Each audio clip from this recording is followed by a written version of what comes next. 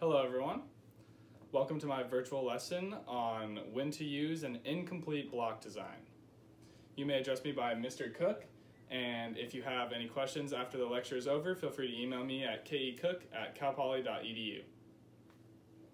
So let's first start by reviewing what a complete block design is with an example. Let's say you're trying to test how many miles per gallon a car is going to receive based on three different types of gasoline maybe, or however many. And so you have, you want to block here by car using three different cars to test the three different types of gasoline three times each. So you have your car one, car two, car three, and you want to make the blocks, of course.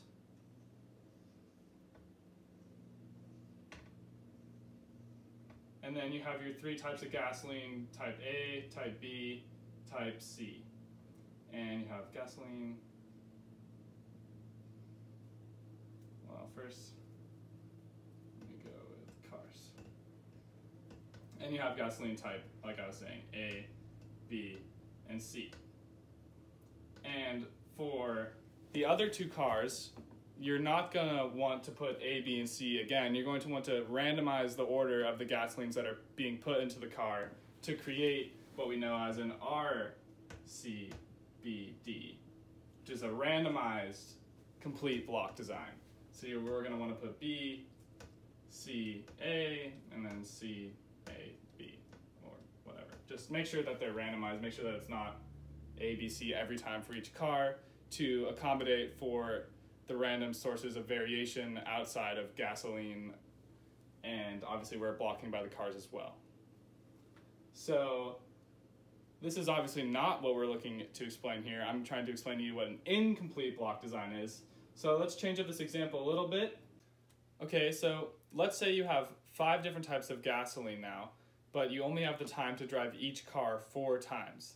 This would give us a combinatoric design, which comes with a formula to tell us how many cars we would need to do to make this a balanced incomplete block design. So that starts with the number of treatments over the number of times each treatment can be replicated, which in this case we have five different types of gasoline and four times each.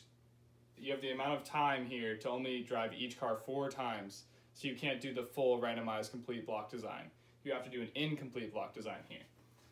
And so we have the number of gases here on top factorial as well as the amount of replicants factorial and then you have n minus r factorial on the bottom.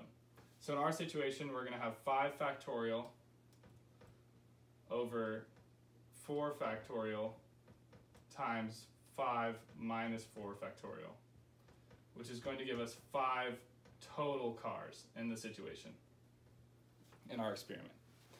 And so since we know this, we have our T, which is going to be treatments, which equals five. We know we can only replicate, we can only have four times each car will be driven, so our K will equal four, which is the uh, amount of replicants per treatment. And then we're going to have five blocks total. Well, this is actually the length of the blocks, not the replication per treatment. And then we have R being four replications per treatment as well as each treatment combination being gasoline A and B matching up together four times each between the complete block design. So we have the gasoline on the top, and we're still blocking by car here. So we're going to have five cars that we are testing, four times each. So we have cars,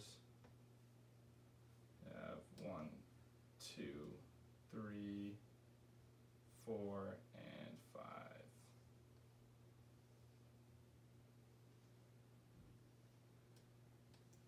And we can only drive each car four times, remember? So we're gonna have the incomplete block design of having the four different gasolines per each car here where we would normally want five to have the randomized complete block design. And I'm saying randomized because you're always going to want to have the randomization in your experiment to account for that random variability that's going to be in any experiment you do. So here we're obviously going to move each gasoline you have gasolines A through E here because you have five gasolines. So you have maybe A, C, D, E. Take out A, now maybe a B, D, E, C, and so on and so forth. Maybe you have D, A, B, E, and C,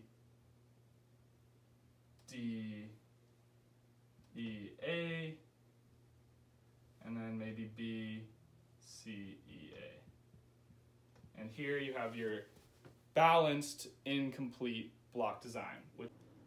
This is going to differ from our original example of our randomized complete block design because we had the three types of gasoline here being tested between each car. So we had each A, B, C being tested for each car.